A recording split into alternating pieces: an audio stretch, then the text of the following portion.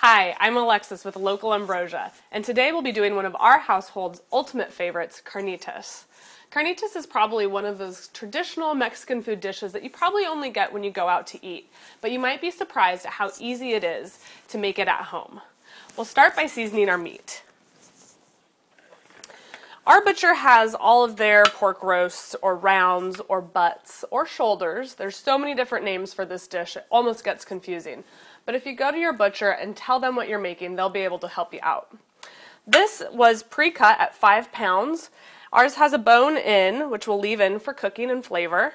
But we'll start by trimming away all the excess fat that's there. Carnitas is a really rich dish. And there's a lot of marbling in the pork itself, so I don't feel too bad cutting off all that extra fat.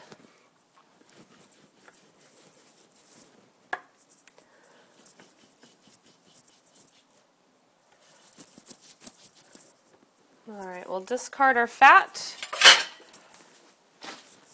and work on our seasonings.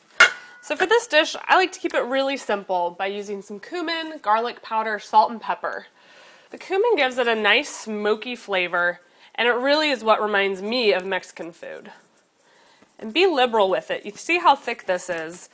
So you want to make sure that all of your seasoning on the outside will be flavorful enough to get through to the middle.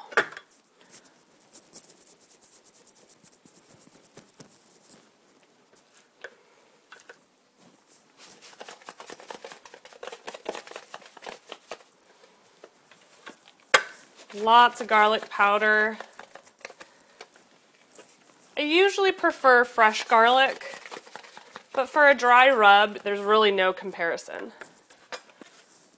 Now for, and I use about equal amounts of all ingredients or seasonings here. And what I did for this is I usually have my pepper mill that I love so much, but that would be so tedious for as much pepper as we're using. So I just went ahead and took about a palm full or a tablespoon or two, and put it in my coffee grinder. I didn't wash it out or anything beforehand, again, because that just seems a little bit too labor intensive. So you might get some flavor of coffee in there, but it should be okay.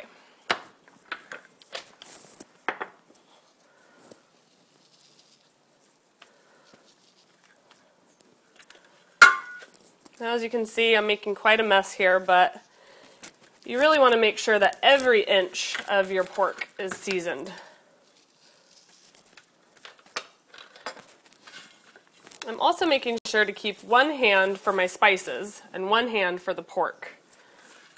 I make sure that you don't get any cross-contamination happening.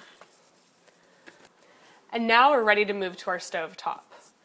You'll preheat your pan over high heat. We're going to start by browning our meat and as you can see, I decided to use a cast iron skillet for this. Um, it retains and distributes heat a lot better than a stainless steel pan. And because we'll be braising this dish for approximately three hours, you're gonna wanna keep all that heat that you can. So the braising technique used in this course can be used for so many different meals. You hear I'm talking about braised short ribs, which is really trendy these days. You can even braise fennel. Uh, it's really used for those tougher pieces that need some extra time. You'll want to add a little bit of oil to your pan. As I mentioned earlier, our pork is going to be a little bit fatty already, so you don't have to add too much. And I usually like to add a little bit of a combination of butter and oil when cooking, but in this case where I'm looking to get a really good crusty brown on it, I'm just going to use the oil because it has a much higher smoking point than the butter does. Give your pan a swirl. And we're to wait until it actually starts to smoke, which you, after you swirl it around a little bit, I definitely see it starting to smoke. So we'll go ahead and add our pork in whole. And you can hear that immediate sizzle. And we're really to try and brown it pretty deep. Uh, the braising technique that we'll be using here We'll then add a bunch of liquid to it and continue adding liquid to it while it cooks for the three hours. So you really want to get a good crust established ahead of time, otherwise you're having boiled meat, and that's not tasty.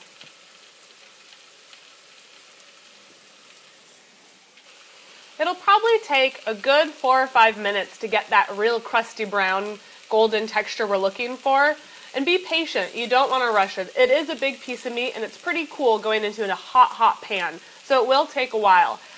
In all my years of cooking, I've never burnt anything I was trying to brown. So leave it high and leave it long. Once you start to smell it, you'll want to take a look just to gauge how done you are. Now that is a beautiful brown crust. Give it a flip.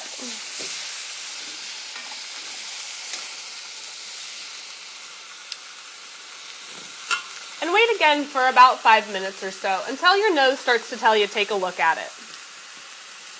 You'll want to make sure that you have a good ventilated space. If you have a hood that actually does its job, flip it on high.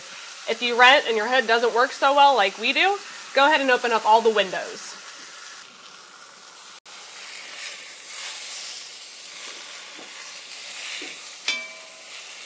You're want to brown every side, top, bottom, every inch of it you want to get as golden brown as you can. Now once you're done browning all the sides of it, you're want to turn down the heat all the way low. Braising is really about low and slow, and you want to start to add your liquid. I'm going to be using a Mexican style beer. You can use dark or light, whatever you have on hand or whatever you prefer. So now, if you think it's steaming now, it's going to get really intense for a minute.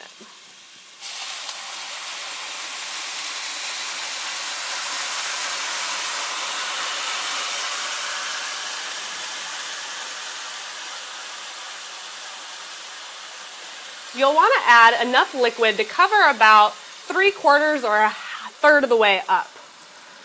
Really, however much liquid you use the first go around will determine on how long you can wait until you come back and check it the next time.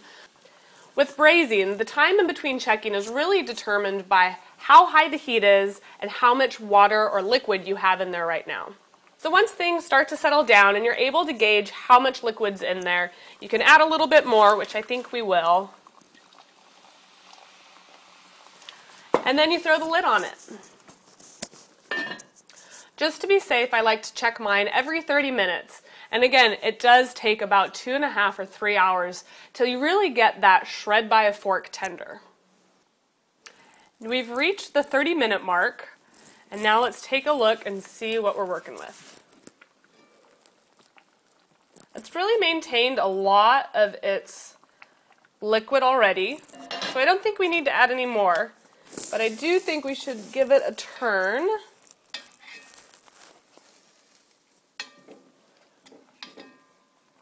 Beautiful. From here, I notice that there's barely a simmer going on. So I'm going to turn it up just a little bit so that we can maintain a little bit of a slight simmer and check it in another 30 minutes. We're now at the one hour mark with our carnitas. Let's see how we're doing. Oh, it smells so good, so rich. We really still have quite a bit of liquid in there. I'm going to give it one more turn. I don't think we need to add any more.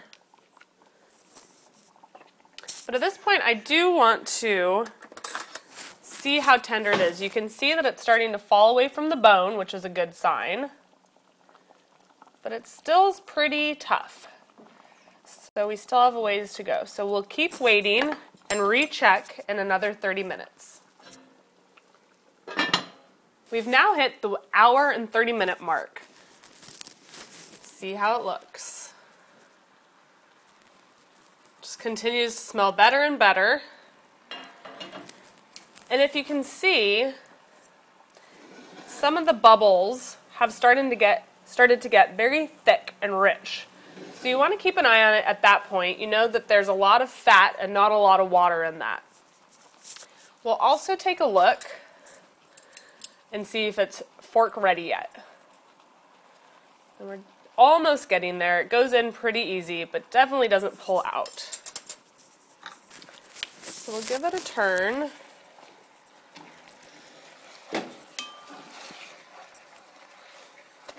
Ugh that color is perfect.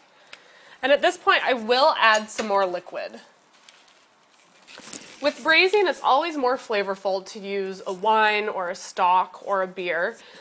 But if you prefer to use a non-alcoholic beverage, you can always use the stock or just water. But you'll definitely get more flavor if you use a liquid that has some flavor.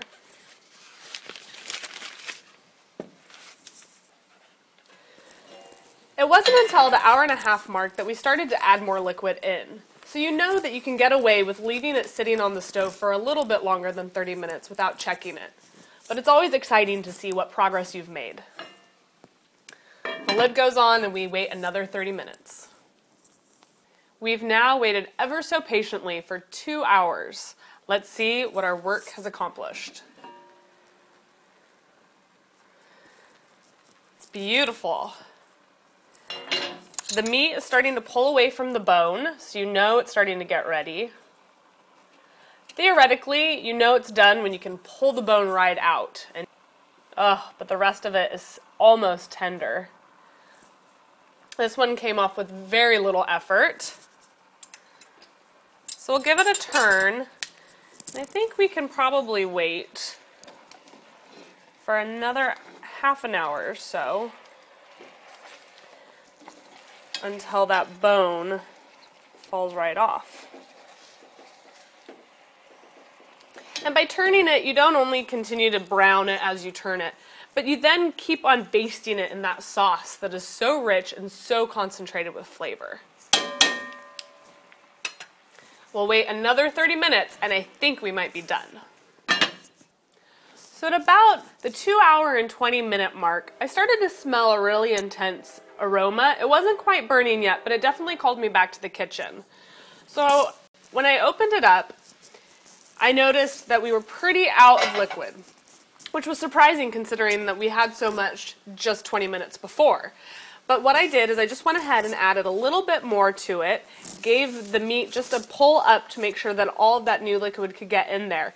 And it'll deglaze all of the burnt or roasted bits, whatever word you want to put to it and pull it all off the pan that we'll put back on our pork once we shred it down. So we'll see how tender it is. You can see how it's just started to relax and fall open a little bit. And when you give it a pull, it hardly stays together, which is a good sign. So just trans just move it to a plate and pull up all the bits that you can from it.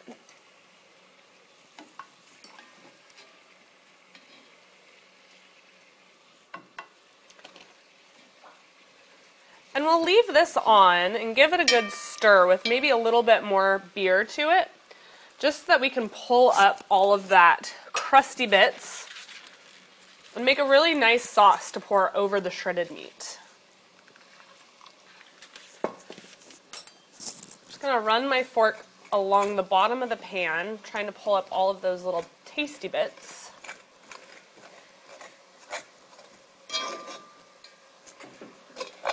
But really, as the beer cooks in there, it should pull them all up.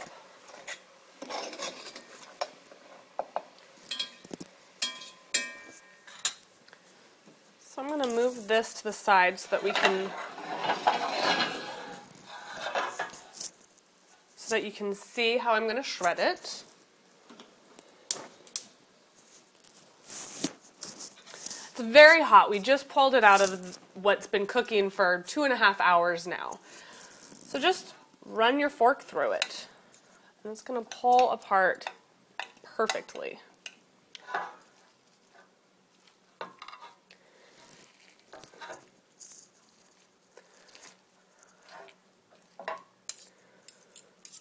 Work around the bone first so I can make some space.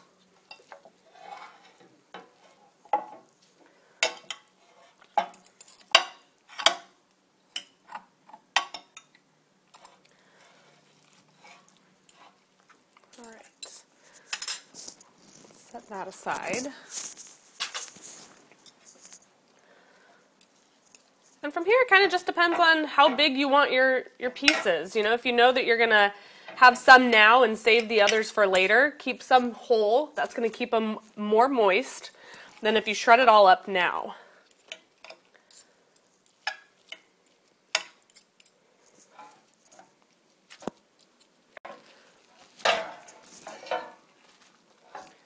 There you go. It takes some muscle to get started.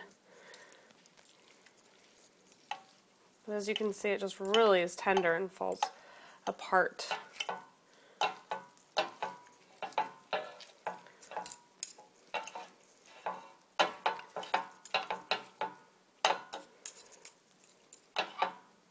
As I mentioned earlier, our household really prefers carnitas tacos. So I think we have enough that we can start assembling our delicious tacos.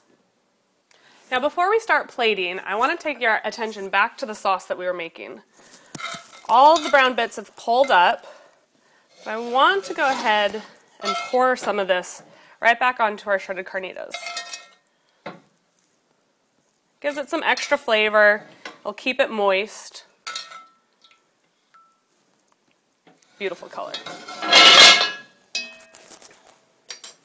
From here, I've charred up a corn tortilla on the stove. Add a little bit of your carnitas to it.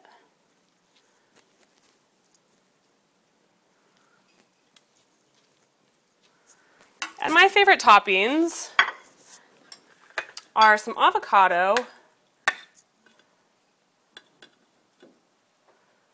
some green salsa, a little bit of sour cream, the pico de gallo, and a little bit of roasted pasilla chili.